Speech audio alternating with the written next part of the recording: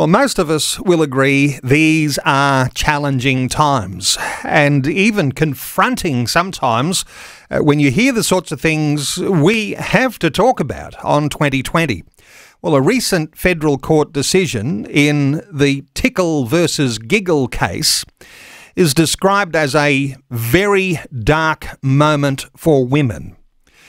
From the ruling, women were erased from law and women now no longer have the right to exclude males from our spaces, to exclude males from their spaces or their services or their sport. Well, Kirralie Smith is back with us. She leads the organisation called Binary. She's one of the very courageous women who are standing up to the rampant campaign to degender Australian society. Kirralie Smith, a special welcome back to 2020. Always great to speak with you, Neil. Kirralie, what happened? Uh, it's not going away, is it? Um, it's no, a look, huge development. Describe it for listeners. Some will be thinking, oh, that couldn't be happening here in Australia. Look, it, has been a decade in the making, Neil, with Julia Gillard. One of her last acts of Prime Minister was to remove all sex based protections from the Sex Discrimination Act. So basically, she removed the definitions of male and female, and there are no longer any protections under law uh, because male and female is not defined. Now, it's taken over a decade. Sal Grover uh, had an app for girls, Giggle for Girls, um, that was a safe place for women to connect, whether it was to find a rental partner a job, someone to talk to, some counselling, whatever it might be. And a man named Roxy Tickle uh, took her to court. So the, the federal court case was called Tickle v. Giggle. I'm not making that up. It's not a joke. Uh, you can look it up yourself.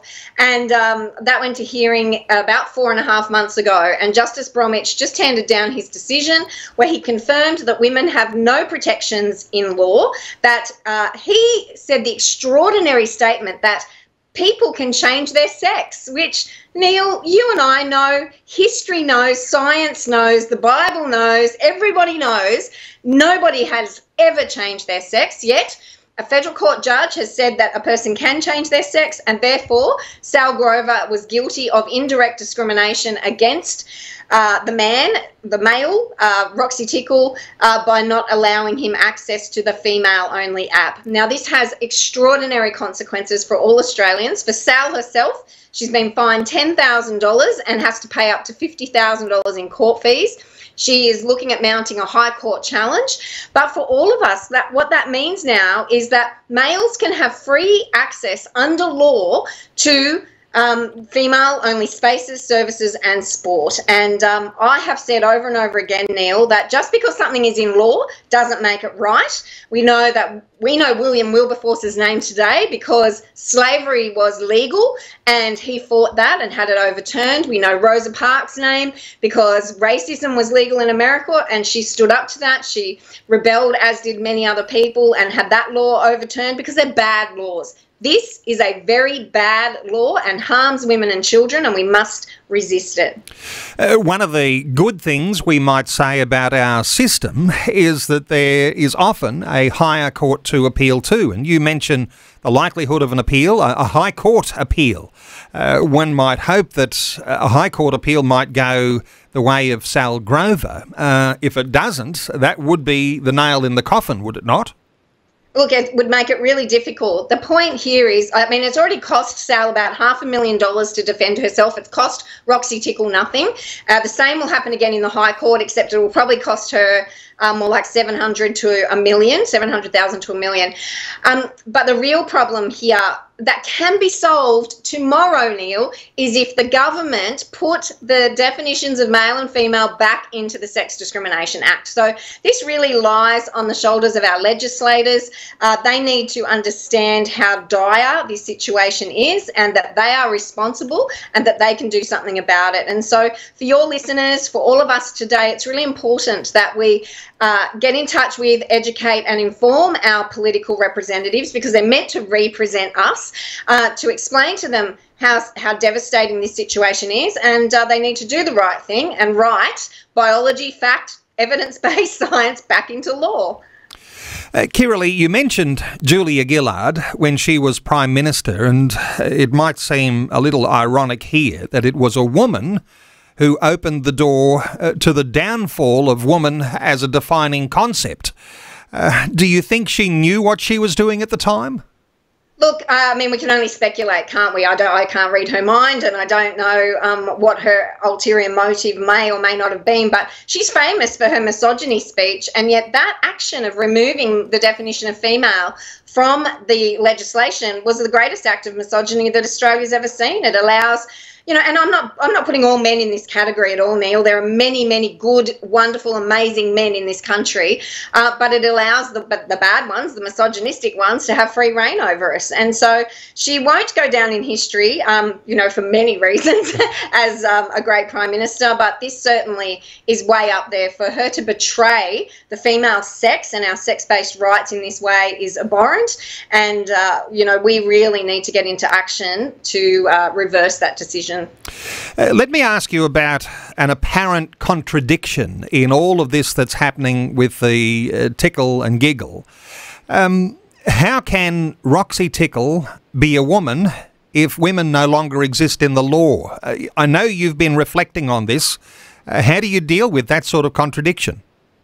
That's the million dollar question, isn't it? it? It makes absolutely no sense. There's no logic in this. He cannot identify legally as a woman if there's no such thing as a woman legally. So uh, I don't know, you know, if that's something that can be argued in court or not. But I know in the public space that's something that makes sense to all of us, or doesn't make sense to any of us, is that uh, you can't identify as a woman. One, if you're a male, but two, there's no ability to do that in law if there's no such thing as a woman in law. So it, it's absurd. It shows how ridiculous the law can be.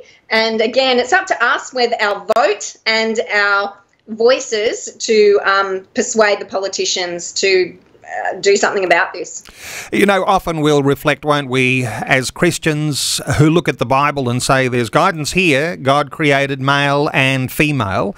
Uh, but then we've got common sense. Then we've got biology on the side of the biblical definition. And, and from what's been happening, and particularly with this case, we might be asking, what does it all mean? Because as you start to describe, you know, what happens in female spaces and those sorts of services that are available to females, um, what is likely to be happening with women and their spaces going forward, and sports teams, as we've spoken about so many times now?